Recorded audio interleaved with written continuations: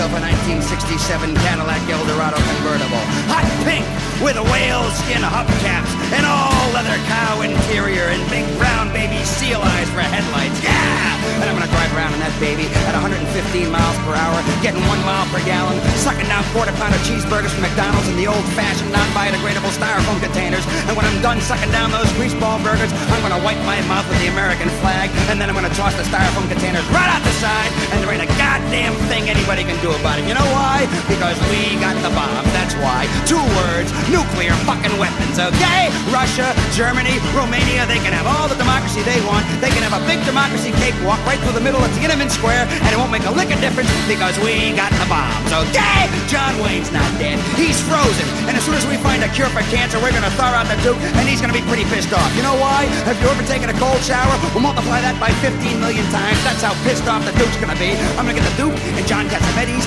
and Lee Marvin and Sam Peckinpah Hey. and a case of whiskey and drive down to Texas. Hey, you know, you really are an asshole. Why don't you just shut up and sing the song, pal?